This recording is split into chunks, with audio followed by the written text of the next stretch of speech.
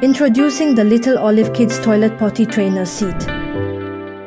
Start by placing the base plate on the ground. Hold the footrest at the desired height and push the nut through the inside hole, then screw it through the outside hole. Insert the notched ends of the legs into the base plate until you hear a click.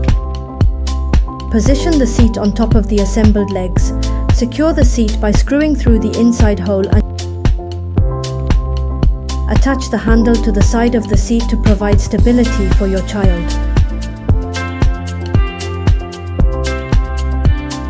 This potty trainer toilet seat is designed to fit toilet seat with height up to 16 inches. It features a comfortable and padded seat for your child's comfort. This potty trainer toilet seat is also available in three different colors such as pink, blue and grey, making it a great choice for your child.